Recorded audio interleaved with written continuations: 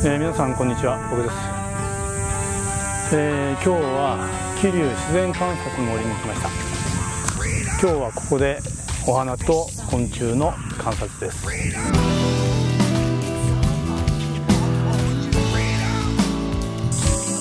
えっ、ー、とマムシグサの実のところですね。まだ赤くなってないな、えー、最近は。キノコまで取ってしまう。今ですね設定がシャッタースピード50分の 1F が11 ISO が800です。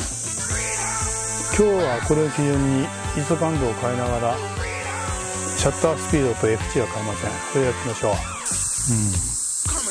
うん。ヤンマかな。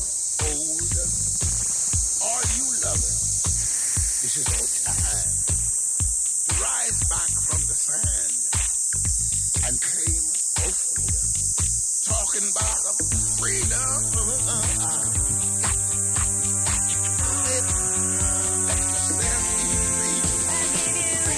つもと白いのと違うんだよね。ちょっと緑っぽい。青みがかってるっていうかそんな場なんだよね。えー、今年も出会いました。今年初めての七節ですね。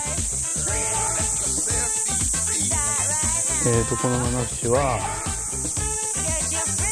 えー、木の色に、えー色を描いてます。動かないからこれが全体ね。ここ取れんかな。こうか。